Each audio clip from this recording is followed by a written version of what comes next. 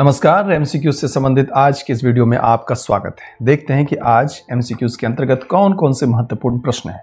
पहला प्रश्न, सिविल सेवा दिवस के आयोजन की शुरुआत कब से की गई?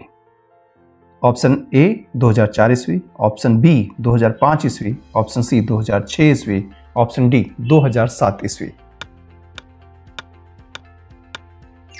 इसका सही जवाब है ऑप्शन सी 2006 ईस्वी। भारत सरकार हर साल 21 अप्रैल को सिविल सेवा दिवस के रूप में मनाती है। इस तरह का पहला समारोह 21 अप्रैल 2006 को विज्ञान भवन में आयोजित किया गया था।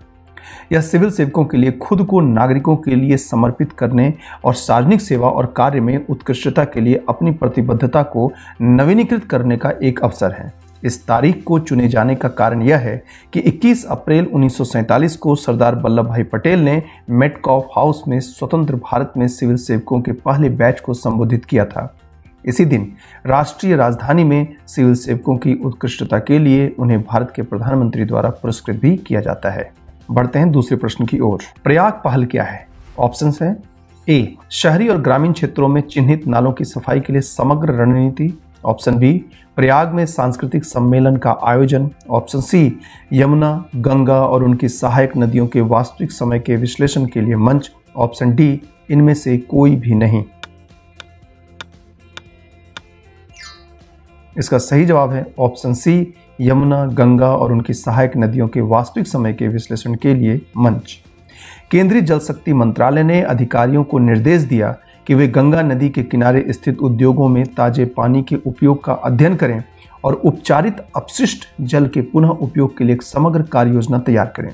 मंत्रालय द्वारा ऑनलाइन डैशबोर्ड के माध्यम से platform for real time analysis of Yamuna, Ganga and their tributaries नामक निगरानी केंद्र का शुभारंभ किया। Platform for real time analysis of Yamuna, Ganga and their tributaries का ही शॉर्ट फॉर्म है प्रयाग।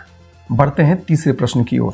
तीसरा प्रश्न है कि वीरता पदक पाने वाली पहली महिला वायुसेना अधिकारी कौन बनी? ऑप्शन हैं, option A, Deepika Mishra, option B, doctor Puneet Arora, option C, doctor Seema Rao, option D, Sheila S Mathai. इसका सही जवाब है option A, Deepika Mishra. Wing commander Deepika Mishra ने वीरता के लिए वायु सेवा पदक प्राप्त किया। ऐसा सम्मान पाने वाली वह पहली महिला वायुसेना अधिकारी बनी है। विंग कमांडर दीपिका मिश्रा को अगस्त 2021 में उत्तरी मध्य प्रदेश में आकस्मिक बाढ़ की स्थिति में मानवीय सहायता और आपदा राहत अभियान चलाने के लिए तैनात किया गया था। चुनौतीपूर्ण मौसम की स्थिति और समय की कमी के बावजूद वह उसी समय प्रभावित क्षेत्र में पहुँचने वाली पहली और एकमात्र सदस्य थी। अचानक आई बाढ़ की स्थिति में उनके प्रयासों से सैंतालीस लोगों की जान बचाई जा सकी। बढ़ते हैं अपने अगले प्रश्न की ओर। प्रधानमंत्री द्वारा सिविल सेवा दिवस के अवसर पर निम्नलिखित में से किस पुस्तक का उद्घाटन किया गया है? Option A, voice of India, Modi और उनके परिवर्तनकारी मन की बात। ऑप्शन बी, पंडित दीनदयाल उपाध्याय, जीवन दर्शन और समसामयिकता। ऑप्शन सी, भारत की नई सोच और option D, new pathway and aspirational district unlocking potentials. इसका सही जवाब है option D, new pathway and aspirational districts unlocking potentials. प्रधानमंत्री नरेंद्र मोदी ने सिविल सेवा दिवस के अवसर पर सिविल सेवकों को संबोधित करते हुए प्रशंसा, मूल्यांकन और आत्मनिरीक्षण के महत्व पर ज़ोर दिया। उन्होंने अपने संबंधित राज्यों के लिए विकास इंजन बनने में आकांक्षी जिलों की क्षमता और विकास में जन भागीदारी या सार्वजनिक भागीदारी की आवश्यकता पर भी ज़ोर दिया। आयोजन के दौरान new pathway and aspirational district unlocking potential का विमोचन किया गया। जिसमें एस्पिरेशनल डिस्ट्रिक्ट्स को बदलने के लिए सफल नवाचारों और रणनीतियों का प्रदर्शन किया गया। बढ़ते हैं अपने अगले प्रश्न की ओर।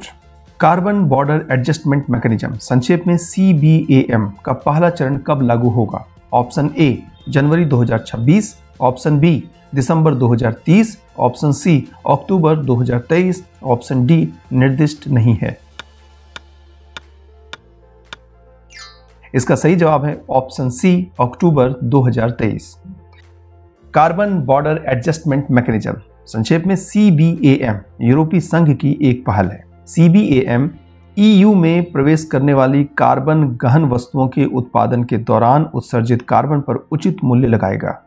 यह गैर यूरोपीय संघ के देशों में स्वच्छ औद्योगिक उत्पादन को प्रोत्साहित करेगा। CBAM को चरणों में पेश किया जाएगा जिसका पहला चरण अक्टूबर 2023 में शुरू होगा।